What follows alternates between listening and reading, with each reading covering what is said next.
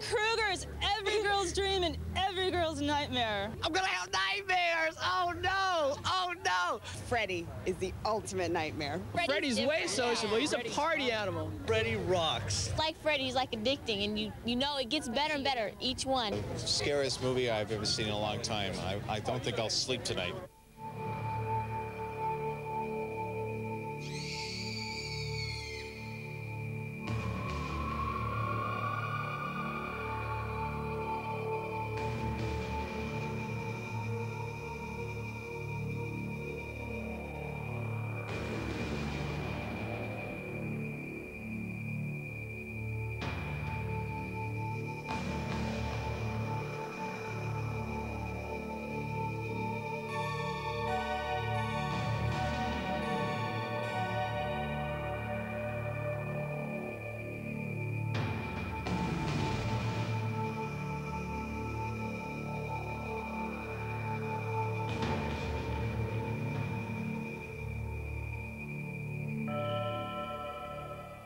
Street, USA.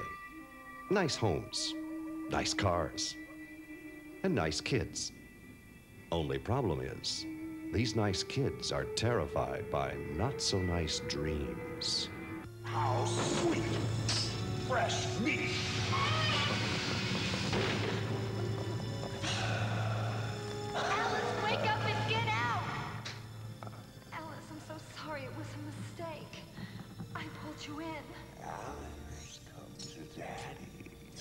Elm Street, the making of a nightmare, we'll take you behind the scenes of Nightmare on Elm Street 4 The Dream Master and let you meet the man responsible for the cause of chronic insomnia of teenagers not only on Elm Street, but around the world Freddy Krueger. Why don't you uh, reach up and touch someone?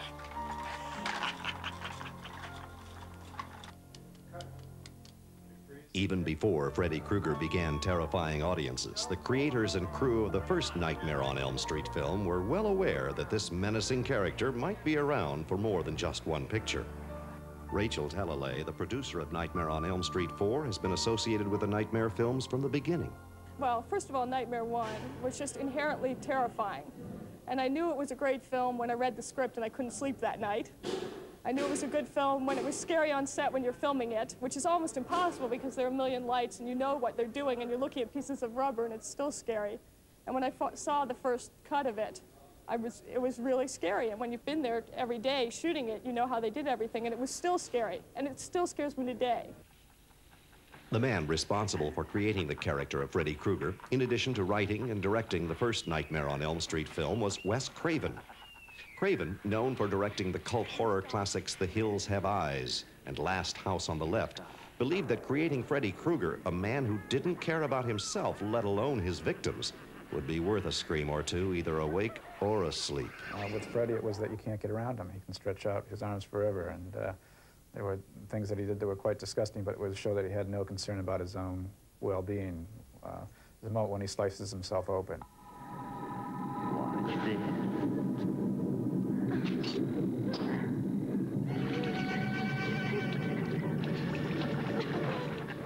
When you suddenly realize the person that's after you doesn't even care about their own body, that's a horrifying thing because you can't harm them.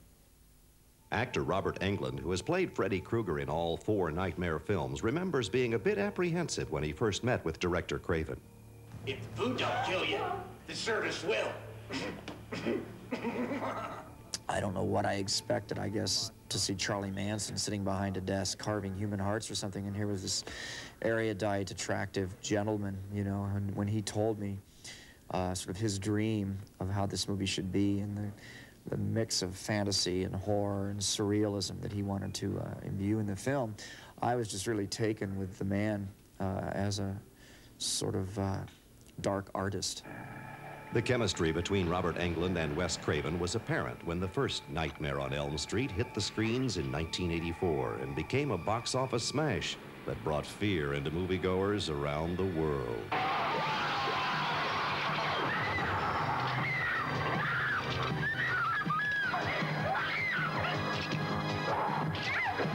But who is Freddy Krueger? And why is he wreaking havoc on the Elm Street teenagers? You want to know who Fred Krueger was? He was a filthy child murderer who killed at least 20 kids in the neighborhood. Kids we all knew. Did they put him away? Well, the lawyers got fat and the judge got famous, but somebody forgot to sign the search warrant in the right place, and Krueger was free just like that. What did you do, Mother? A bunch of us parents tracked him down after they let him out. We found him in an old abandoned boiler room where he used to take his kids. Go on. Took gasoline. Poured it all around the place and made a trail of it out the door. Then lit the whole thing up and watched it burn. But he can't get you now. He's dead, honey, because Mommy killed him. But surprise, thanks to box office receipts totaling over $23 million, Krueger returned in Nightmare on Elm Street 2, Freddy's Revenge. This time, Freddy looked for some help in carrying out his onslaught of murders. His choice? Jesse Walsh, played by Mark Patton. We got special work to do here, you and me.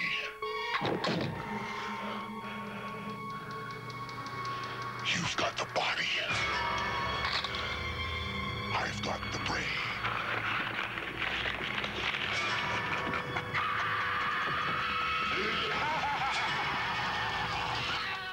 I think in part two, the main thing that attracted the fans to that was we had a real sensitive male lead. Instead of a typical macho teen boy, we had sort of this, this nerdy, sensitive kid, and he became the equivalent of our heroine in Jeopardy, Jeopardy from part one. And while Freddy's plans went astray in part two, it didn't stop him from trying again in Nightmare on Elm Street Part 3, The Dream Warriors. Part 3 also marked the return of Heather Langenkamp, who played Nancy Thompson, one of the few survivors from Part 1, who understands firsthand the reason for the kids' sleepless nights. I know who's trying to kill you. Don't humor us. We're not in the mood. He wears a dirty brown hat. He's horribly burned. He has razors on his right hand. Who is he?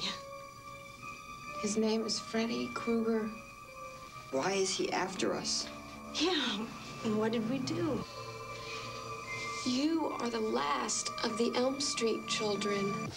The Elm Street Kid's success in killing Freddy in Part 3 proved to be short-lived, because sometimes it's hard to keep a dead man down.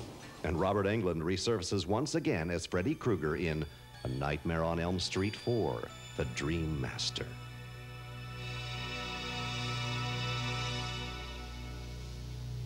Shouldn't have buried me. I'm not dead. The Freddy Krueger phenomenon is hard to explain. His picture can be found on albums, t-shirts, and other Freddy Krueger memorabilia. Wes Craven has his own theory as to why Freddy is so popular. You are all my children now. I, I think what happens, it's almost like the hostage situation, the classic situation in, in, in a hostage situation, I'm told, is that at a certain point, the person who is the hostage will flip and try to make friends with the captor. You know, um, that's the best way to deal with it psychically. And I think that's what, what kids have done with Freddy. He was so compellingly frightening that uh, in order to contain him and, and deal with him, they've made friends with him. Certainly one of the reasons for Freddy's success has to be the unusual sense of humor that is wrapped into this monstrous character. This is it, Jennifer. Your big break in TV. Welcome to prime time, bitch. Wanna suck the face? No. Krueger! Well, it ain't Dr. Seuss. What you have to remember is if you let an audience laugh in a horror film, it's much easier to take them through the whole process, setting them up to scare them again.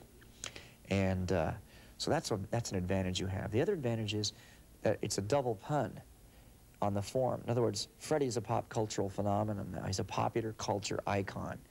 And if Freddy does a Clint Eastwood line or a, a Stallone line or a, a Pee Wee Herman line or something we've all heard on commercials or Welcome to Prime Time or something, it just reinforces that, that Freddy is this sort of uh, asterisk of, of the culture because he's using the culture and throwing it right back. Welcome to Wonderland, Alice. One thing that is no laughing matter is the horrifying face of Mr. Krueger. Robert Englund, minus the famous makeup, talked about the original concept of Freddy's look. When it was originally designed, David Miller on the original design in part one worked on it. We wanted just half of the face destroyed by burn tissue. And then the powers to be at New Line and Wes Craven, they felt that it should be the whole face. But we wanted a melted look, and we wanted a bit of a, a evocation of a witch. And uh, there was an old uh, 40s paperback uh, book, uh, The Shadow, Who Knows What Evil Lurks in the Heart of Men. And we based some of it on that look a little bit. The original makeup design by Dennis Miller and modified by Kevin Yagher was applied to Englund in Nightmare 4 by Howard Berger, whose toughest challenge was in trying to keep Robert still for the three-hour process. The first thing I do is to get Robert in here and get him to sit still. That's the hardest part of the makeup. He's really wonderful to work with. Uh, he's so much fun, and he's so patient every day to have that makeup on. His head is totally covered. Uh, there's none of his real skin showing at all, anywhere. The long, tedious task of Robert's transformation into Freddy Krueger begins with the application of a latex bald cap covering Robert's hair. This is necessary because all of the pre-made foam and latex skin-like pieces must be glued to cover Robert's entire head, face, and neck. The process works like a jigsaw puzzle. To create that puzzle, Robert has to have his entire head cast in plaster, which is then used to create the various pieces. It's a, a rubber called foam latex and there's uh, five different chemicals that have to be mixed up in like a mix master. And uh, we inject it into these molds. And what Kevin did is he, he sculpted each piece and took plaster uh, negatives off the clay sculptures and puts foam in them and put Robert's positive of whatever, let's say his forehead, into the negative uh, plaster uh, mold and bake it at uh, like three and a half hours at 200 degrees. And we pop them out. They're all every, all the pieces are pre-painted, which means we paint. They're painted back at the studio, and I bring them to set every day. Howard Berger's next step is to apply the first piece of the puzzle, which is the back portion of the head and neck.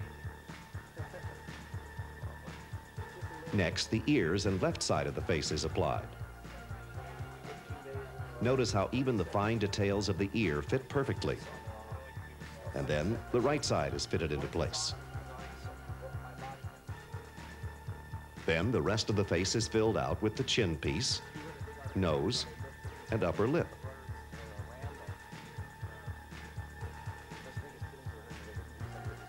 And the final piece, the forehead. Finally, additional makeup is applied to achieve the desired look for the camera. By Friday, I've been in the makeup, if I've been in the makeup 12 hours a day to 15 hours a day for four days, with only a night's sleep in between, I'm raw. So I'm really raw, and I, I start to break out the corner of my eyes where it glues into the corner of my eyes. I can barely touch there. If I just touch with the warmth of my finger now, it stings. So it's, I have to psych myself up to put it on. But once it's on and the tingling goes away from the glue drying, I'm okay for the, for the rest of the day except for the heat. However, there was one time Englund made the mistake of wearing the makeup in public. And I was starving for some real food one day and worked about a 10-hour day, and we went across the street to this Thai restaurant that's been there for years, and we all figured it was like really good food and everything. It's next to a dog and cat hospital. That's always a bad sign for a Thai restaurant, but we all figured, because, you know, all the neighborhood is movies, studios and stuff that, you know, I'd been there. And I went across the street, and we walked in, and everybody's used to Robert now in the makeup, all the guys on the crew. We walked in, and, and it was like this guy who just got off the boat with his green card, from Cambodia or Vietnam, and we scared him to death. I mean, literally, the tray and all the plates went up in the air. The guy turned white. He ran in the back. I mean, the doors went waka, waka, waka, you know, and he never came out again. Even actress Lisa Wilcox, who plays Alice in Nightmare 4, found it took some time before she could deal with the reality of working with such a handsome leading man. And the first day I worked with him, he was already in full makeup literally, I couldn't look at him for more than about two minutes because I just have to go, ooh, like that. So that's something, and all the blood and the guts, and, and you just have to completely erase your imagination and say, okay, this is, this is, this is real, and don't worry about it. With director Renny Harlin at the helm, Nightmare on Elm Street 4 picks up where Part 3 left off. as the survivors of Nightmare 3 are still finding it difficult to get a good night's sleep. Tuesday Knight plays Kristen, the girl who has the unique ability to summon her friends into her dreams. Also back for a second time is Rodney Eastman as Joey. And reprising his popular role of Kincaid is Ken Sagoes, who is definitely ready for Freddy. Kincaid was scared. There's no doubt about it. But yet, when he had to face Freddy, you know, he fought him. He did not deny he was scared, but Freddy was not going to mess with him without a fight.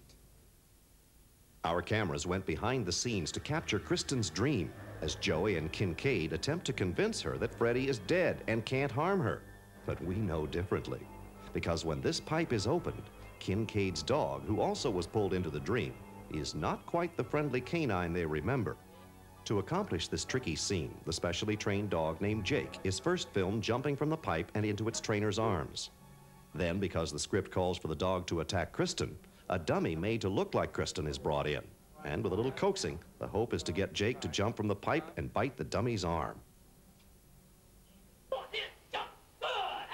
As you can see, Jake is one actor that really sinks his teeth into his work. Then, with some quick editing and post-production, it appears that Jake has actually made his mark on actress Tuesday Knight in the final version of the film. Fred Krueger's history.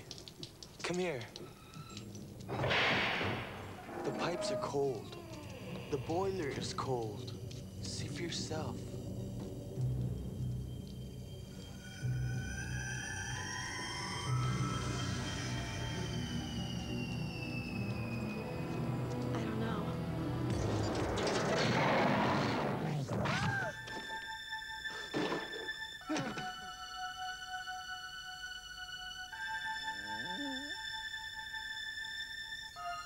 Kristen suffers a nasty dog bite, the fate for Kincaid proves to be a lot worse when he finds himself in the middle of a junkyard. And for the film's producers, the junkyard scene proved to be a nightmare of its own. The junkyard was logistically a nightmare. Um, you know, you've got this, you go to this junkyard and the California law is that you can only have cars three, three high, and suddenly we want these corridors and this maze of junk, of junk cars. To create the illusion of the large junkyard scene called for in the script, the producers and director Renny Harlin turned to DreamQuest, a special effects company whose credits include The Lost Boys and The Fly. And we actually shot this plate. The plate is what we call the part with Kincaid in it. Uh, the night that they were shooting Kincaid for some other shots, we went off to the side, found a dirt patch because that's all we needed, put Kincaid um, down on the ground there, built a little tower above him, and uh, put some shadows on the ground to imitate cars actually being there. Next, using a crew of seven people, nearly 1,000 miniature cars were built over a two and a half week period. Then Justin and his crew created a spot where Kincaid would stand for the camera to pull back from, revealing the masses of cars. Kincaid has run in, he was running down this pathway here, and Freddy has thrown all these cars in his way and trapped him in this pit. So we really sort of, it was pre-dictated as to where we were going to pull out from. It was going to be this pit that Kincaid was trapped in. In terms of the overall model, basically what we tried to do was do something that would sort of technically fit into our plan. So we pretty much centered this and then built our model around it. So that's pretty much it. This is where Kincaid stands, is right in here, and the camera just pulls pretty much straight back from there.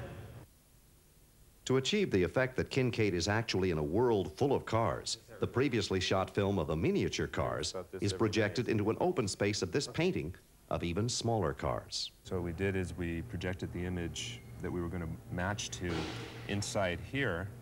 We then had the rest of this glass. This is all on glass, this painting. We had the rest of this glass to work with. Ken Allen went in and painted the rest of the image that was combined with what went into here. Then what we did is we had a camera then that just pulled back from here, and it appeared as though we were continuing to pull back from the previous shot. The creation of this spectacular visual effect for which the Nightmare films are famous finally comes together with all three elements combined. Kincaid screaming in the actual junkyard, the model car miniatures, and finally, the painting of the world full of cars. Overseeing all the special effects in the picture is director Renny Harlin. Harlin, who had a taste of directing horror films with the movie Prison, looked forward to making his contribution to the Nightmare series. I saw the first Nightmare movie I saw in London a few years ago, and I didn't know what to expect when I went to see it, and uh, I loved it. I thought it was it was like an like a horror, art horror film, and uh, I saw every one of the Nightmare movies, and and when it was uh, proposed to me that I could direct one of them, I was very excited and, and felt that it'll be a great challenge. And producer Rachel Talalay was excited about the overall look Renny Harlin could give a Nightmare on Elm Street film. What I was really looking for in Nightmare 4 was somebody who had a real visual style. All the other films look fine, but they don't have an extra visual style. And when I saw Prison, Renny's just got an incredible visual style. And what we're getting in this film is a much better looking film, much more camera movement, much more excitement. And that's what we thought we could give to this project that the other ones didn't have. And Robert Englund's previous experience on Nightmare films was helpful to the young director. Uh, working with Robert Englund is, is really great because he is very familiar with the, with the whole series. He can help me a lot by, by telling what they did earlier and what worked, what didn't seem to work. And there are, there's like a, like a set of Freddy rules in a way. There's like Freddy's own reality where you have to sort of draw from.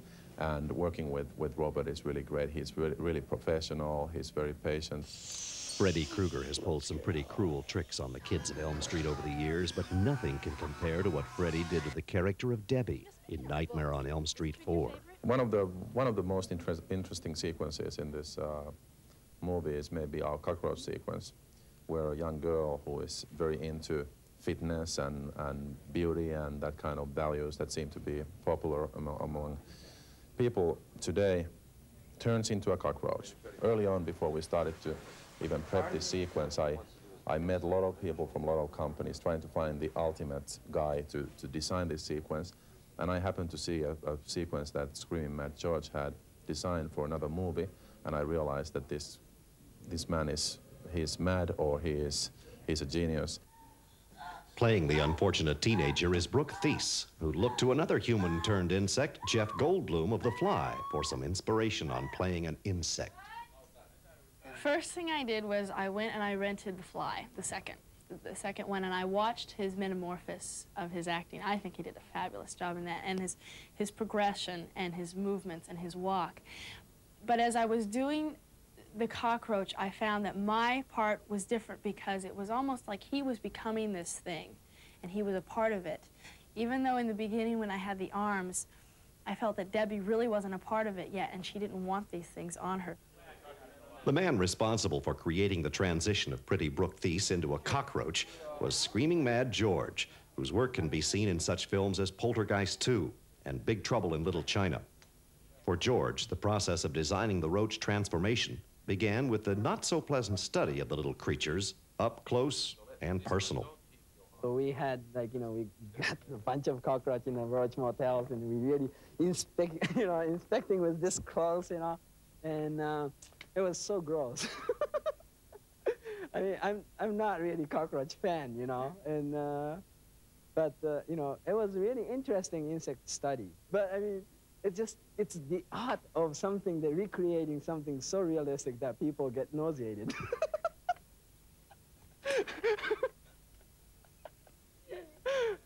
Once Screaming Mad George finished examining his newfound friends, it was time for Brooke Theiss to get into the act.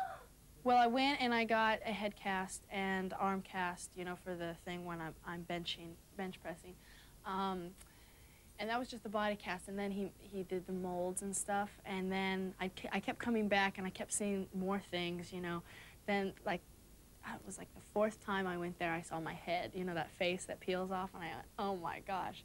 And I kept passing by and I kept going, God, this is so weird. My face is staring at me, you know. And, and then I got into the cockroach um, outfit, and um, he, had, he had a little videotape, so he videotaped it, and then I got to watch it. It was just, it was just so interesting, really interesting. The horrifying transformation scene begins when Freddy suddenly appears in Debbie's attic while she's working out. First, Brooke is checked to make sure that her new roach arms are in perfect working order. Then Robert Englund steps in and makes his own final preparations as the infamous Freddy Krueger. Director of photography Steve Fierberg takes a last look, and then cameras roll. So one up, up, and to one side on the slate. That's it. Mark.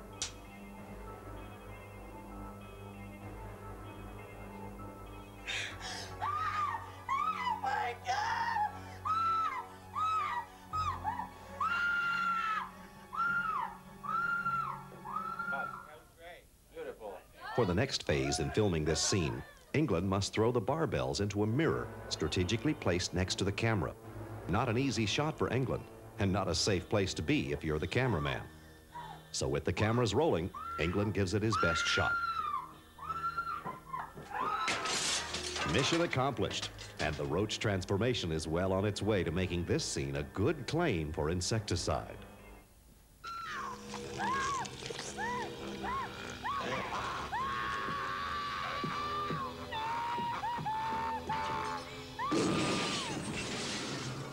But things don't get any easier for poor young Debbie. After running from Freddy, she finds herself smack in the middle of a roach's worst nightmare, a roach motel.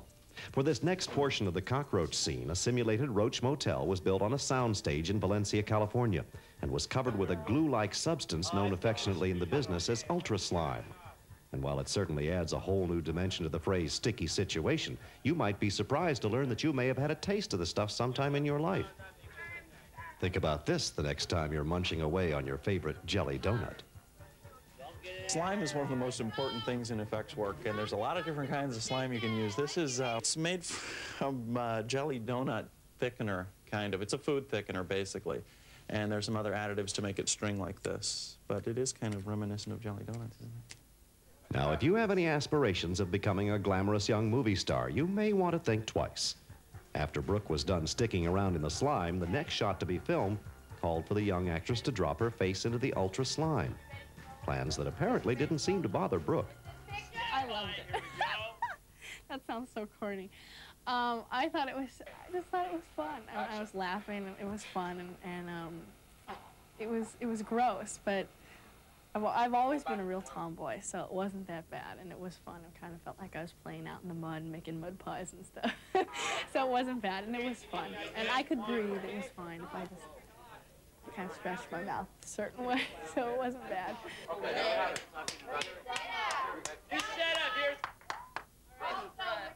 The next shot in this scene finds Debbie trapped inside the Roach Motel with a victorious Freddy Krueger peering in. To accomplish this visual effect, the crew placed a rear projection screen just outside an opening on the set. Close-up footage of Freddy's eye, which was filmed earlier, is then projected on the screen behind Debbie, giving the illusion Freddy is watching. And then there is Brooks' mechanical co-star in the scene, yet another creation from Screaming Mad George. For this puppet roach, because of the insect look, we thought regular latex wouldn't look as good as something like really, you know, kind of stiff and shiny look. And we decided, yeah, let's make a vacuum foam, uh, which is plastic, you know, sheet or acetate, heat it up and then go over some, some uh, stone mold so it gives that shape. So, and then and that's a clear and we paint from behind so it, it becomes like really look like an insect shell and we, you know, segmented it and then we have a rubber inside so it gets, you know, soft in the inside and then really hard in the outside. Then it's time for Brooke to step into the full roach costume. Black makeup is then added so Brooke's face will not be seen under the head of the cockroach. A few more roach parts are added. More ultra slime is added to the floor. And Brooke does her best to get comfortable in a rather unusual situation. It was uncomfortable, but it wasn't as bad as I thought it was going to be because I found a position that was real comfortable. And, you know, when he said action, I did my thing, and then I went back down. The only thing that really hurt was my neck and pushing up, because I, on the slippery stuff, I had no control. Well, that's the only part I didn't like about it, that I couldn't turn around. You know how the cockroach turns around and sees the eye? Well, I'm like this, and I go, that's all I can move. I can't do any more. Only through the efforts of the actors, Screaming Mad George, and the rest of the crew working as a team could this memorable special effects sequence come to life, as we see in this final version of the film.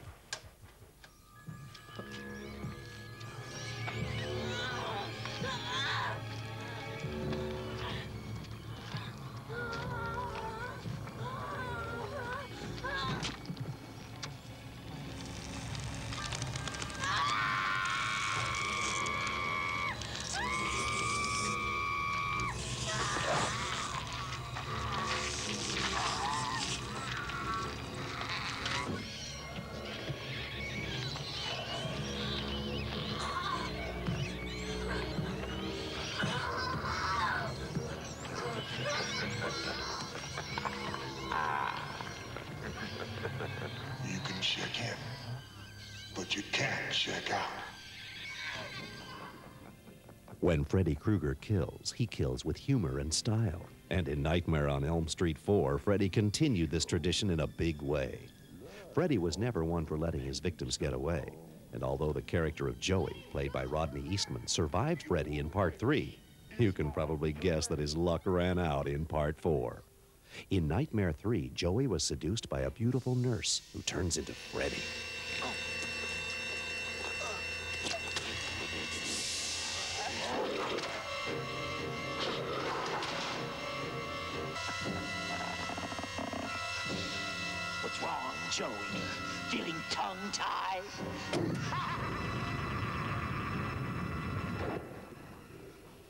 In A Nightmare on Elm Street 4, another beautiful woman seduced Joey.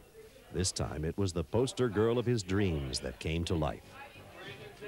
To create the illusion that poster girl Hope Marie Carlton has turned into Freddy, a diving tank was built to allow the actors to work underwater and to create the image that they've appeared inside the mattress of Joey's waterbed. The entire bedroom set was built over a water tank. Behind Joey's headboard is the unseen portion of the water tank, which allows the actors to submerge underwater, holding their breath, and positioning themselves for the scene. Next, the scene is rehearsed for camera position with Joey, Hope, and Freddy. And then the cameras are ready to roll.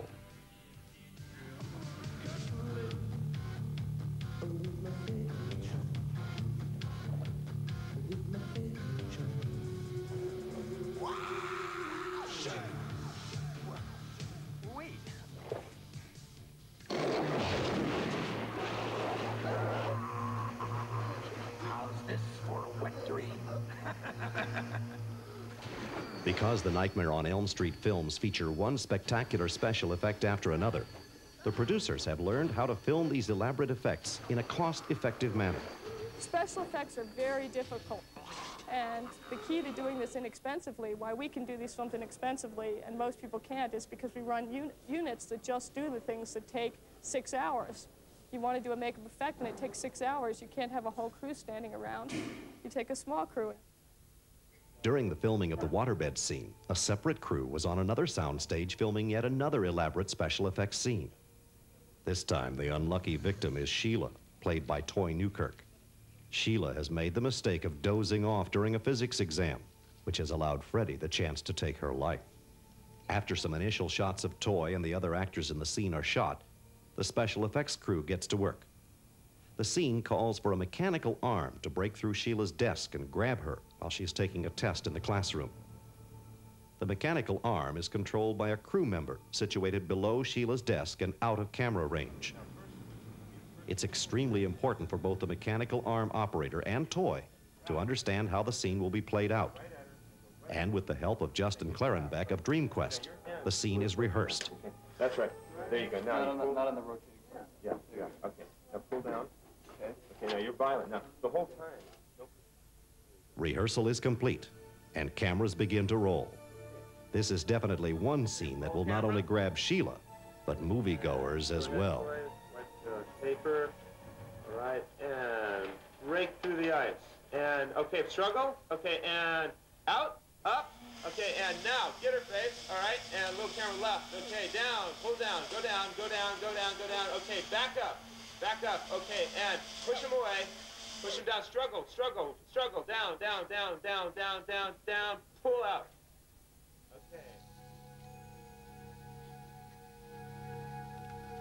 Okay.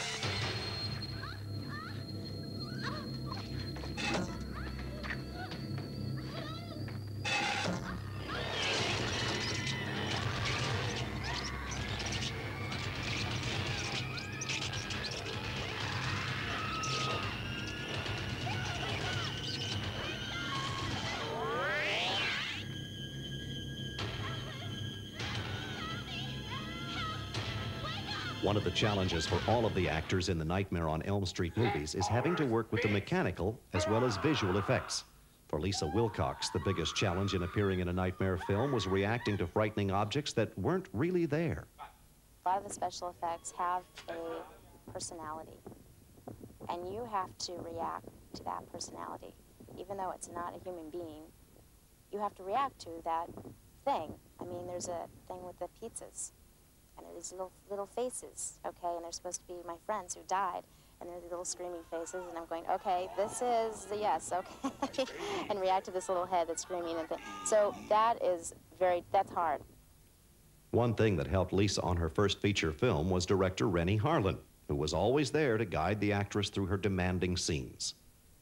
He's very aware of everything going on around him, and he reacts to it and responds appropriately. And it's it's really nice to see that because there are directors. This is my first feature, but doing other projects, there are directors who don't say boo to you. you know, they just say do it. You know, but he is always coming over and saying, "This scene, do you like how it works? You know, and how do you want to play?" And and he's always listening and and wants to get your response and your contribution. For director Harlin, his toughest challenge came when trying to bring all of the special effects elements together for the final battle between Alice and Freddy. I think the most challenging sequence is our final church sequence. That's going to involve a lot of makeup effects and mechanical effects and optical effects and stunts and, and it's going to take a couple of weeks to shoot and involves three units and a lot of collaboration from, from different people and that's, that's, that's very hard to coordinate but I think that sequence is also going to be very interesting. To create the dazzling array of special effects called for in this scene, Renny and the producers turned to Steve Johnson, whose amazing work can be seen in such films as Ghostbusters and The Howling. What it is, is it's the end sequence. They wanted it to be the most spectacular makeup effect sequence in, the, in this film. And they wanted to really give Freddy finally a real death. And the other ones, he's just kind of poofed away in a puff of light. And they wanted to really let all of the people that he'd killed really get a chance to get back at him and beat the hell out of him this time. So we just carefully and cleverly planned it out so that the basic trick to the thing is intercutting between an oversized prop that stood about 20 feet tall of Freddy um, and small size props. And with some strange tricks like Dutch angles and a lot of smoke and moving cameras, hopefully we'll fool the, fool the audience and they'll never know the difference between the two. Killing Freddy Krueger, as you might imagine, is no easy task. And to pull it off, Johnson had to use several carefully thought out devices. The nature of this thing was basically that all of the souls that are left from all of the victims Freddy's ever killed throughout his life and death are getting back at him by punching their way back out of him. Not in a bloody sense, but they're stretching through the membrane of his skin in almost a magical sense that they're growing out of him. It looks as though there's arms growing out of him, heads and torsos growing out of him and beginning to rip him apart as much as they can. To create this illusion, Robert Englund was first placed into a body rig. Freddy himself fits into it something like this and his arm goes through the sweater of the dummy, and he, that way it blends off onto his neck. You get his real head and his real arm, so he can do all the motivating. And then we can do anything we want, since this is a dummy back here, and you can see it's fairly well hollow. We have plenty of room to get as many as 12 puppeteers back here to do what we need to do. Next, Steve used one of his favorite special effects to simulate arms breaking out of Freddy's body. What this rig was for is actually one of the funnier effects we did for the film. It, uh, I got a real kick out of it. Um, the camera basically was angled, composed in such a way so that you did not see these tubes coming out of the back. The operator hill here was bent below so that you didn't see that he was there. It was just shot like this. So what you see is you see an arm with, with Freddy's sweater over this with a hole cut in the back so this real arm can come through. It just looks like you're seeing a shot of Freddy from here. And um, you get all the life and motion of a real hand there if you want to demonstrate the real hand. Then uh, anyway, what we did is from off camera, we shoved, this is maybe not going to work very well now because it's kind of old, but we shoved these arms out. And they reach for his wrist like this. There's another one down here. Move your arm a little bit, Bill. So two arms grow out of his bicep here in a real quick cut and lock onto his wrist. And what happens from that point is uh, to, to get the audience away from the feeling they're seeing an effect, we made this thing. What this did is Robert Englund actually wore this strapped to his arm, and then we tied these to his wrist, like this. So then we can get away from just a, a, small insert shot like this and see Robert walking around and struggling with these things, and they're jointed in the proper places so that it looks like he did a really good job with it. It's basically a mime routine. So when he moved his arm up and these things were attached, it looked like they were pushing his blade arm up towards his face to make him slash his own face with his face with his blade. But Freddy knew he was really in for a bad day when Steve's special effects struck once more.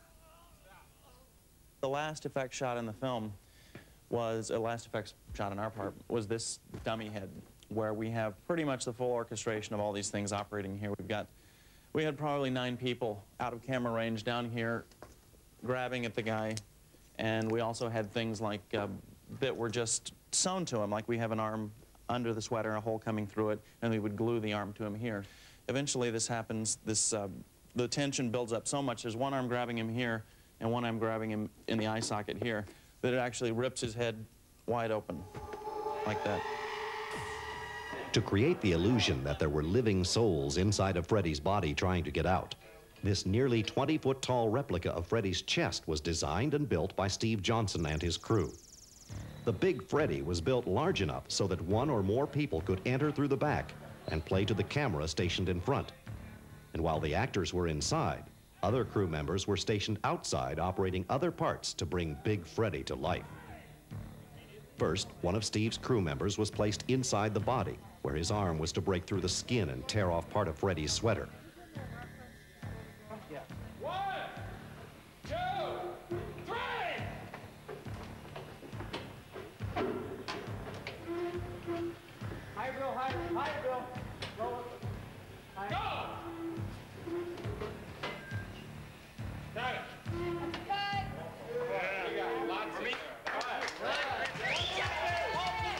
Once the hole is punched through the skin of Freddy's chest, it must be replaced many times throughout the day.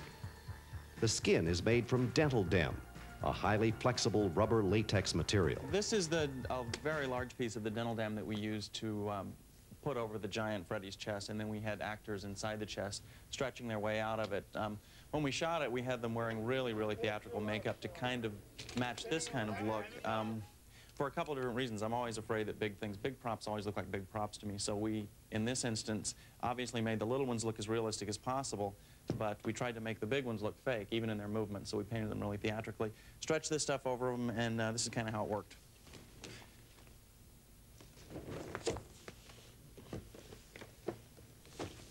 Go forward with your face real.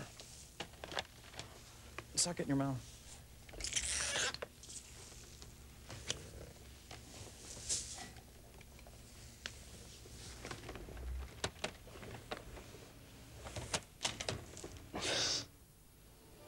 Three actors made to look like the dead victims trapped within Freddy's body are given final touch-ups before entering the oversized replica.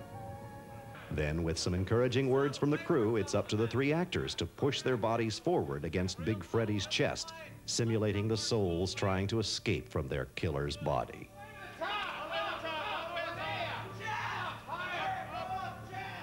A job well done, and all of the effects created by Steve Johnson and his crew combined to make this climactic scene perhaps the most memorable of all the Nightmare films.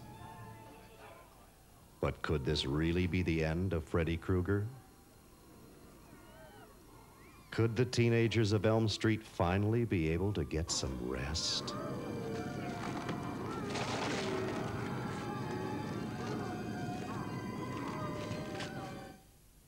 As you lay your head on your pillow tonight, remember, in the movies, no one has to die, and Freddy Krueger may be alive and well and waiting for you in dreamland.